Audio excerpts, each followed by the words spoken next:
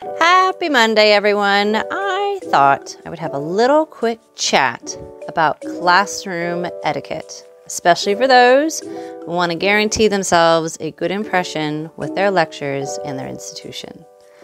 So, I'm not sure if this is a result of COVID, but I have noticed a definite change in terms of student behavior and etiquette in the classroom. So I thought I would provide a few tips on things to keep in mind when you're in the classroom that is also applicable for the work environment once you graduate. And the first thing is make sure you're not on your phone.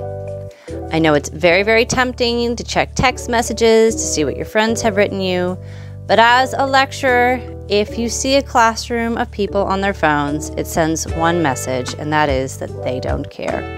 And the last thing you want to do is give off the impression that you do not care. The second thing is bringing food into the classroom. I know it is tempting. I myself love to have coffee. I would love to be able to drink coffee in the classroom.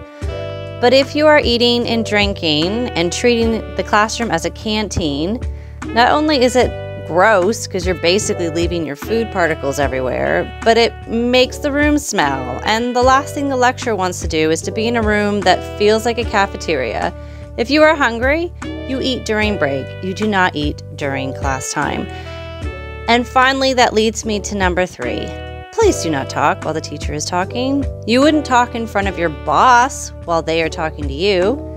So that means don't turn your back and talk to the person behind you.